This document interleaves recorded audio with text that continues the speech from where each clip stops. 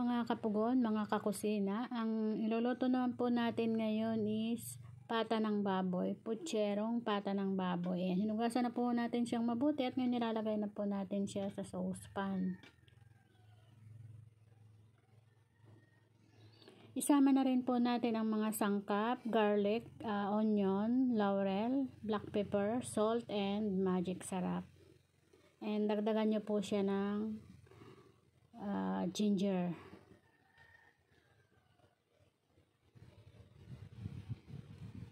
At ang gulay po natin ay sasahog dyan ay papaya. Fresh harvest po na papaya dahil meron po tayong puno ng papaya. Ayan.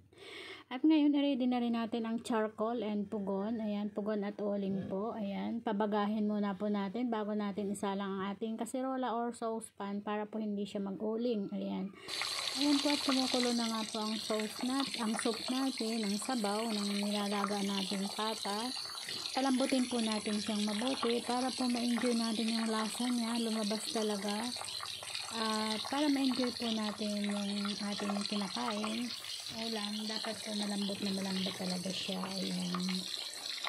Ayan, ang more or less time po na approximate time po ng pagpapalambot ng tata is 2 hours malambot na malambot na po yan 2 hours at yan na po another native way of cooking na ang gamit po natin ay pugon at uling charcoal and pugon.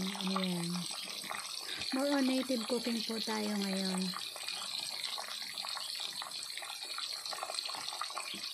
Back to probinsya po tayo. So ayan. Mas maganda po yung native cooking dahil sa mahal po ng bilihin talaga kailangan po natin mag-isip kung paano tayo makakatipid naman. Since wala pa naman po tayong pangmalakasang income ayan napakaganda po yung way of cooking ang native ayan. Magamit po natin ay pugon at kaserola. Ayan, hintayin lang po natin hanggang sa lumambot po siya talaga at i-click nyo lang po ang description ng video nito at isusulat ko po lahat doon ng sangkap na ginamit ko.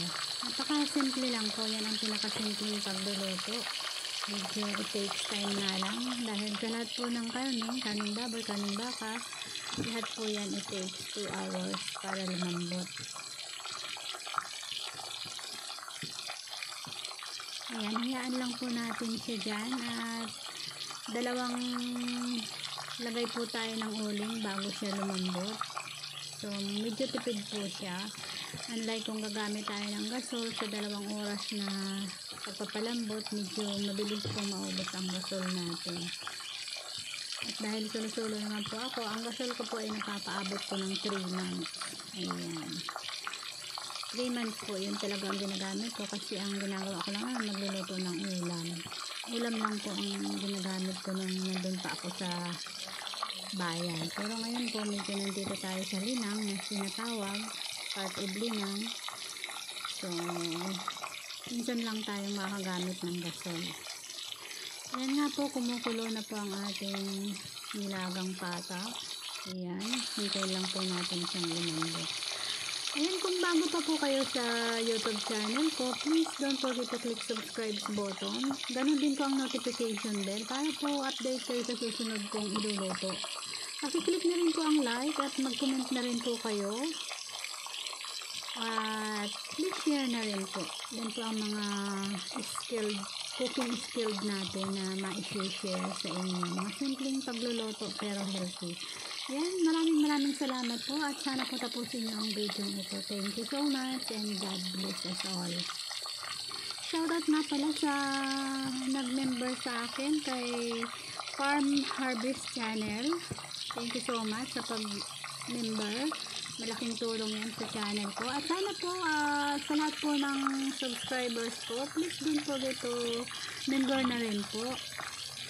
Ayan, napakalaking tulong po yan kung mag-member kayo sa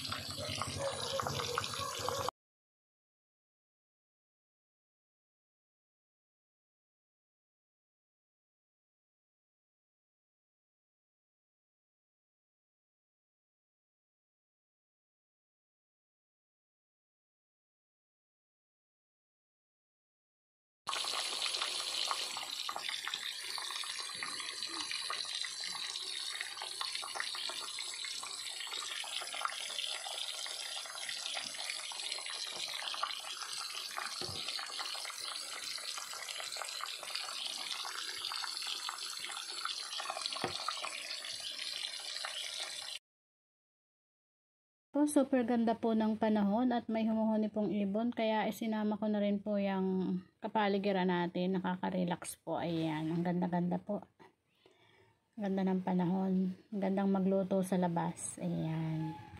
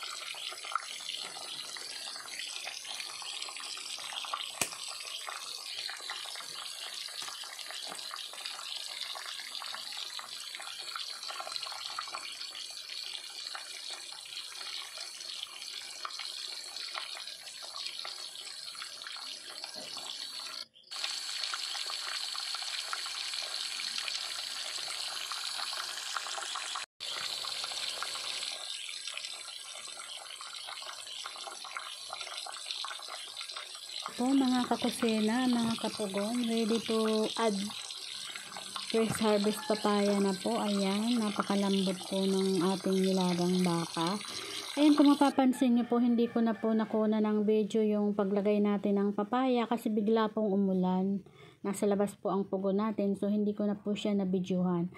Ayan po, maraming maraming salamat po at sana po yung nakapag-share na naman ako sa inyo ng napakasimpleng lutuin, masarap, nutritious at kayang-kaya po ng budget natin. Ayan. Please don't forget to click subscribe button po and hope to see you again for my next vlog. Please enjoy my simple video. Thank you so much and God bless us all.